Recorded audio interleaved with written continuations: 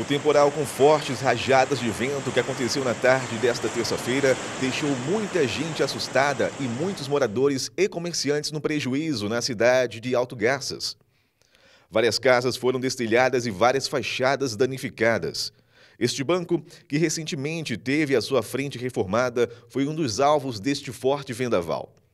Já este posto de combustível teve o seu forro arrancado pelo forte vento.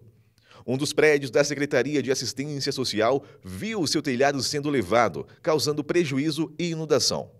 O trabalho de recuperação começou logo em seguida. Felizmente, nenhuma pessoa ficou gravemente ferida durante esta forte chuva na cidade.